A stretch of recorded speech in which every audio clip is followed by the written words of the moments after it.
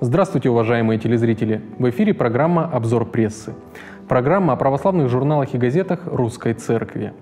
Открывает выпуск свежий номер журнала «Фома». И вот его темы. В рубрике «Парсуна номера» читателя ждет интервью с доктором богословия, профессором Московской духовной академии Алексеем Осиповым. В разделе «Вопрос номера» диакон Игорь Цуканов рассказывает о том, можно ли брать деньги за совершение конкретного таинства или требы, и в каких отношениях должны находиться священник и прихожане. Почему в церкви просят прощения перед началом Великого Поста? Что такое ектинья? Как быть, если корпоратив на работе выпадает на Великий пост? Ответы на эти вопросы публикуются в материале «Вера».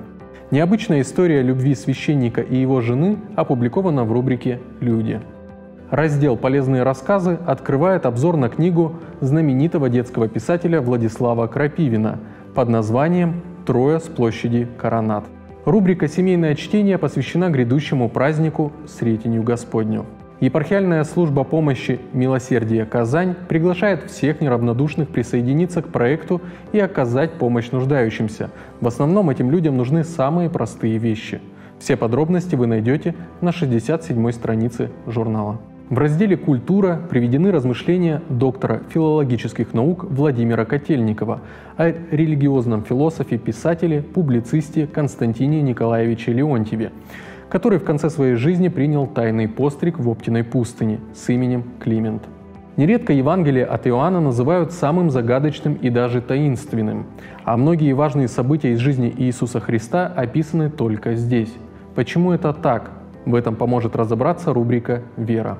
Подписной индекс журнала «Фома» в каталоге агентства «Роспечать» 46 335.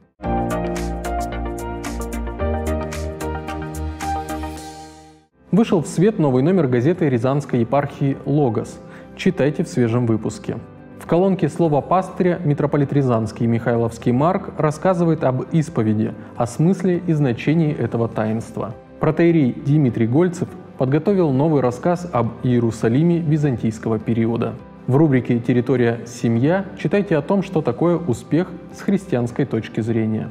Что такое осмогласие? Как оно сформировалось и кому приписывают создание системы осмогласия? Об этом рассказывает регент церковного хора. На страницах газеты также представлены размышления авторов о многодетности и разных путях к Богу. Газета «Логос» распространяется в рязанских храмах и церковных лавках. В электронной версии газета есть на сайте Рязанской епархии.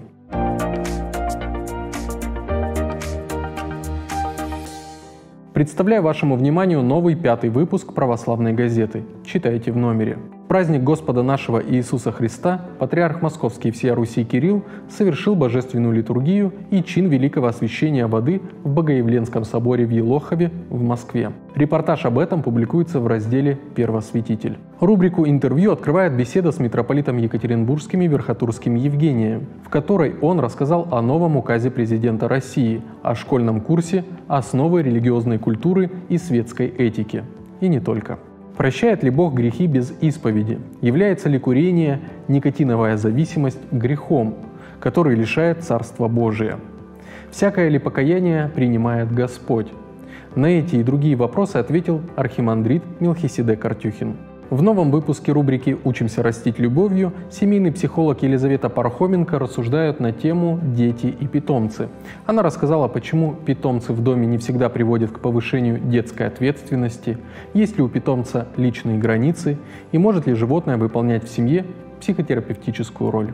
О жизни, служении и семье настоятеля Свято-Троицкого собора города Ядрина, отца Сергия Чернова, можно прочитать на 28 странице.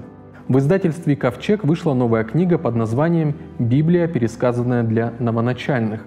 В ней в доступной форме излагаются основные события Ветхого и Нового Завета. Подробнее о книге читайте на 30-й полосе. О прошедшем в Екатеринбурге концерте и награждении победителей конкурса рождественских открыток среди детей, оказавшихся в трудной жизненной ситуации, рассказывается в разделе «Фестиваль». В Екатеринбургском храме Вознесения Господня состоялось освящение иконы небесных покровителей, пожарных и спасателей. Подробнее об этом образе и его создании читайте в рубрике «Святыня». На последней 48-й полосе выпуска опубликована краткая программа постоянных передач телеканала «Союз». Оформить подписку на православную газету можно по каталогу Почты России, подписной индекс ПП-805. Также газету можно прочитать и в электронном варианте. Адрес интернет-страницы представлен на экране. С вами была программа «Обзор прессы». Спасибо за внимание, всего доброго и до встречи в эфире.